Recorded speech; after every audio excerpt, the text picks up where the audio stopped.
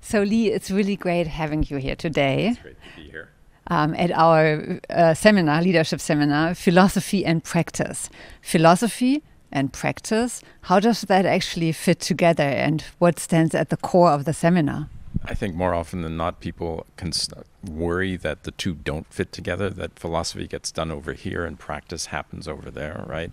But of course, one of the premises of the, of the, of the seminar when we put it together was there is a connection to be made, a connection that we actually owe, our, owe it to ourselves to make between the kind of conversation that we've had in the course of the day today, you know, where we invoke Aristotle, where we recognize that Kant has something to say about how people behave, and daily engagement in the workplace, in the home, right? But that, that understanding some of the questions that lie behind the things that we do on a daily basis without thinking about the the reasons why we do those things or the implications of what we have done you know, that we need to make that connection um, thank you so very much. Uh, today, um, there was a lot of discussion about human nature um, and the structure of society.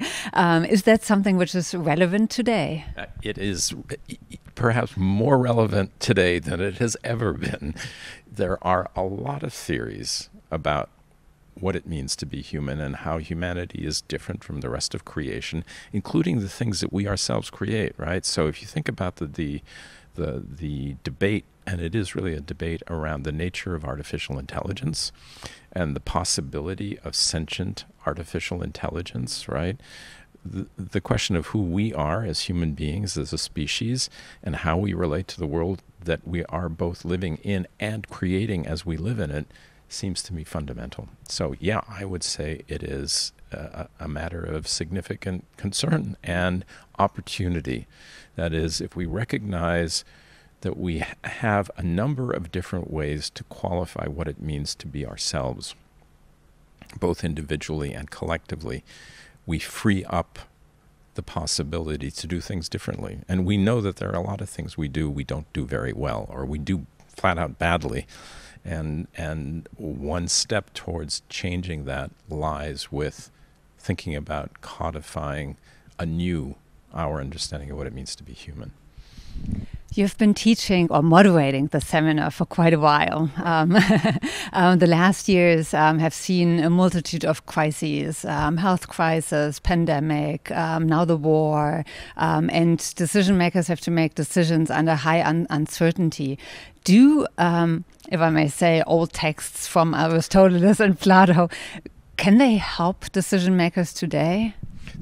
From the get go, when Aspen was founded in the US in, in the late 40s, early 50s, right, the premise has been that going back across the centuries, so two millennia plus to Confucius and Aristotle and Plato, made sense because the issues that those writers raise continue to bedevil us. That is and and and sometimes I, I don't want to cast it as as purely negative uh, it's also an opportunity again. So there are ways of thinking about the world that have been in conversation for millennia, and they are both limiting and freeing.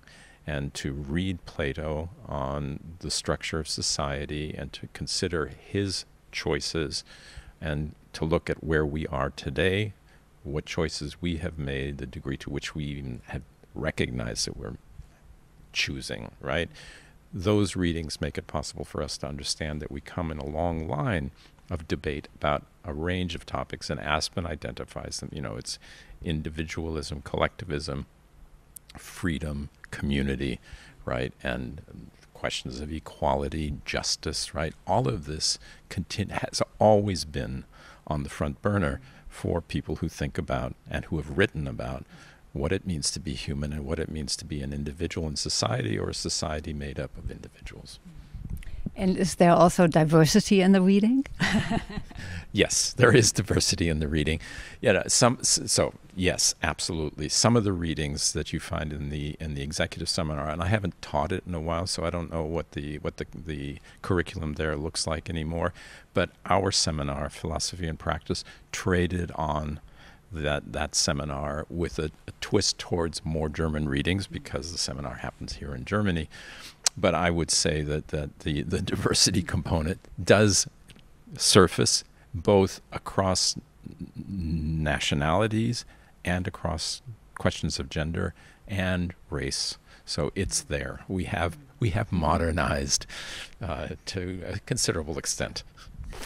So again, saying that you have done the seminar a lot of times, what makes you come back to Germany and continue moderating the seminar? I enjoy coming to Germany. That's the starting point. But every seminar is different, right? And it is true that we use the same texts from one seminar to another. It is equally true that the participants at the table are different. And that is a different kind of diversity, but one that really does matter. Every seminar brings a new set of faces and experiences and opinions to the table. And the negotiating as we all do in the seminar, across those sometimes, uh, I, I, guess I would say, tense moments. There are times when people do clearly disagree with one another, but those moments generally yield to a broader sense of community.